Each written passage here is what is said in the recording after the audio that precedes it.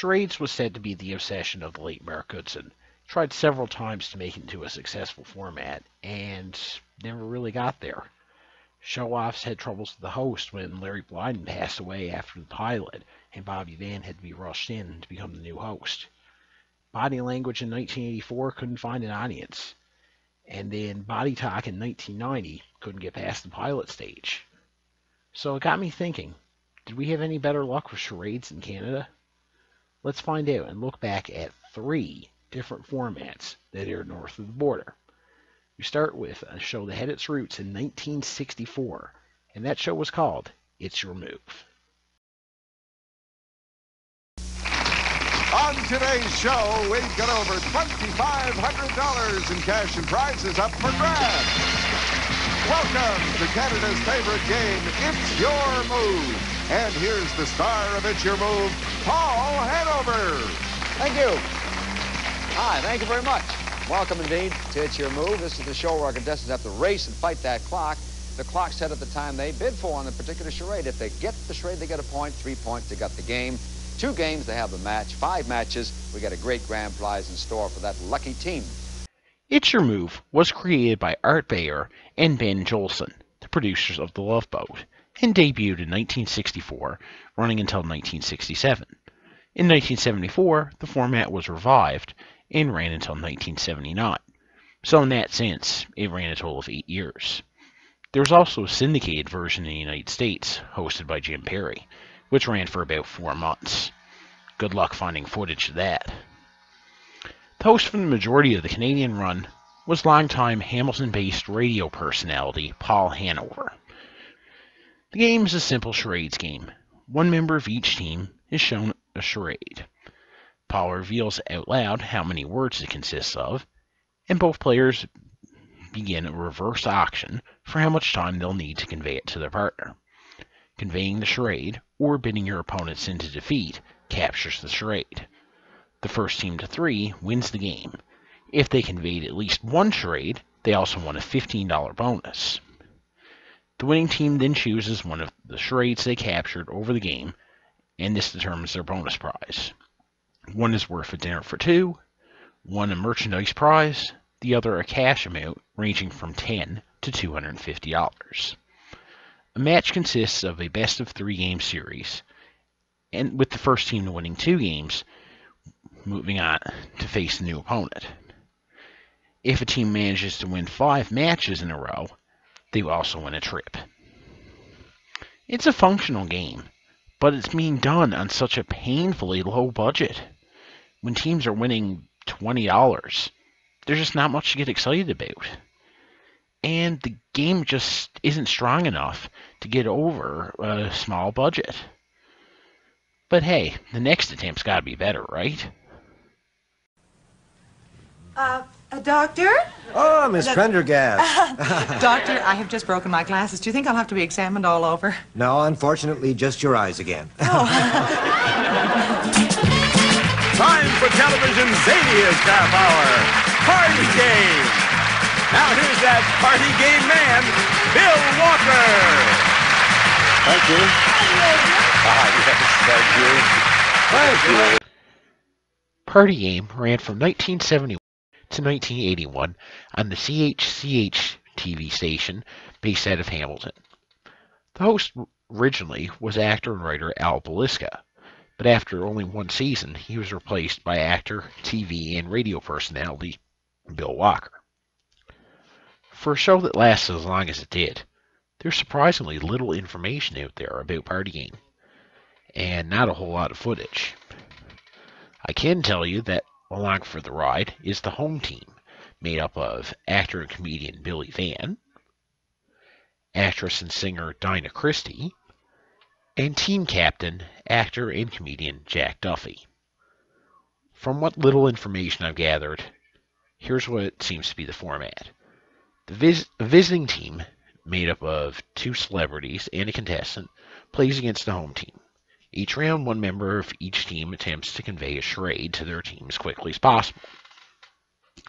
The charades consist of longer phrases that contain puns, and for what it's worth, in the few clips that exist, you do see some truly excellent charades playing.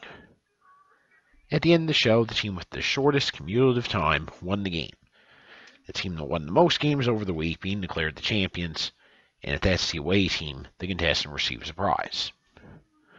So, again, there's not much of a game here, and not much of a budget. But this is a case where it doesn't need to be. The zaniness and the puns make it a fun time waster, and it just feels like a bunch of friends getting together for game night. Speaking of which, the set, designed to look like a living room, sets the tone. And I know you're waiting for me to point this out. The theme music helps too. Anybody recognize it? It's Bond Street, from composed by Burt Bacharach. Or Family Guy fans might recognize it as this. Oh my god! Do you know what it's time for? A sexy party!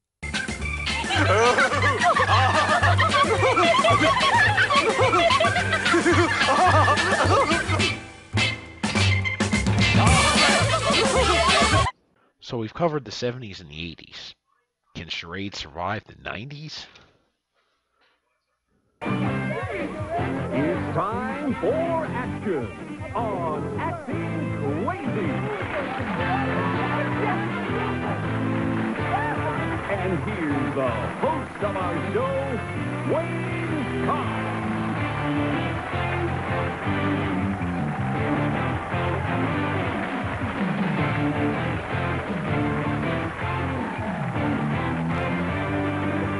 Welcome to Acting Crazy, the craziest 30 minutes on television.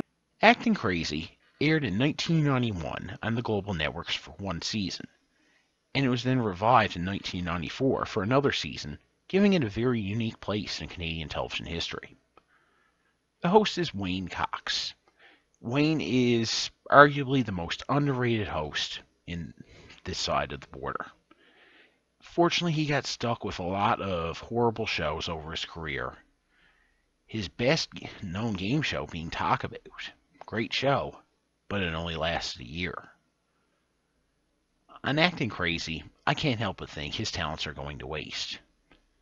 Because he doesn't have a lot to do here, and based on a past interview I've seen, Wayne didn't think much of the show, calling it just charades. So I can't help but think he's phoning it in here, and that's a sad statement from one of my favorite hosts. The 90s take on charades was as simple as it comes. Two teams of four play, each team made up of a contestant, a celebrity, and two in-house players who appear on a rotating basis. Those house players being Billy Mitchell, Gary Jones, Dennis Simpson, and sisters Sue Burge and Melody Davies. Interestingly, Melody and Dennis were previously contestants on Talk About, also hosted by Wayne Cox. One member of the team is given a charade to convey the, to their team for up to 60 seconds. Whatever time it takes to convey the charade is added to the contestant's score. At the halfway point, the contestants swap teams, taking their scores with them. And at the end of the show, whichever team has the fastest time or lowest score is the winner and receives a prize. If a contestant can win five games in a row, then they get to shop for prizes in the Acting Crazy Galleria, or Blair's Prize Emporium, as Wayne called it on occasion, in reference to producer Blair Murdoch. It's so odd to do this because it's never explained what they actually win, or if they have some sort of uh, limit when they're shopping, but really it doesn't matter because the show just couldn't find an audience like the other two. The charades are basic, basic and not that much imagination. No gimmick to it, this at all. It's Your Move had the auction gimmick. It's a weak gimmick, but it's something. Party Game had the puns and the zaniness. Acting Crazy has nothing. So it's the worst of the three. After Acting Crazy, Wayne would go on to host a couple of unsold pilots, but to this date, this has been his last game show to make the air. He continued to work as a weatherman on Global News Hour based out of Vancouver for many years until his retirement in 2012. So there you have it, three of the charades based variants that appear north of the border. And it seems to be an interesting phenomenon. Less is more. Because there wasn't much to It's Your Move and Party Game, but they both had long runs.